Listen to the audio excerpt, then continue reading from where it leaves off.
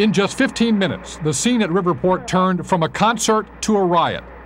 More than 60 people, including a dozen police officers, were injured. Some received broken bones. It took more than an hour and 400 police officers to get the riot under control. This was as bad and as violent as any as I've, as I've ever seen, and I've, I've been involved in, in several of them, and this was as, as bad as any of them. The trouble started at about 11:15 last night, 90 minutes into a concert by the band Guns N' Roses, seen here in another performance. Lead singer Axl Rose apparently spotted someone with a camera in the audience, and when the camera wasn't confiscated, Rose went in after it. Axl got in a fight with some guy, and then uh, the security guard pulled him apart because they were afraid, and he just threw down the microphone and left.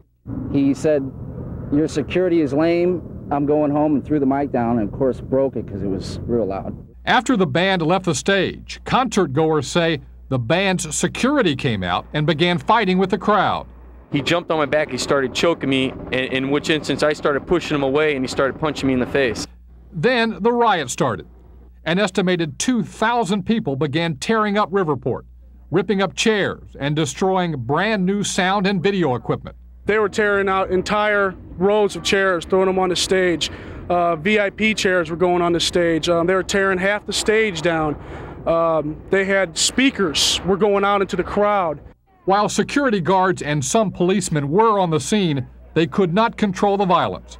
And at 1128, Maryland Heights police declared a riot known as a Code 1000. Within minutes, up to 400 police from all over the area descended on Riverport.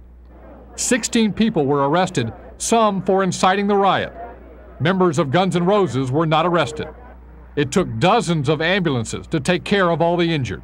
A lot of people were carried off in stretchers. Three or four of our security guards were carried off in stretchers. It was just unreal.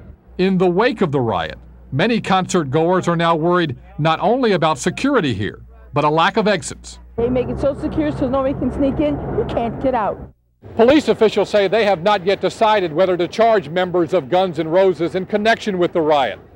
Meanwhile, the band's next stop in Chicago had to be canceled because most of their equipment has been destroyed. Jeff Fowler for NBC News, Maryland Heights, Missouri.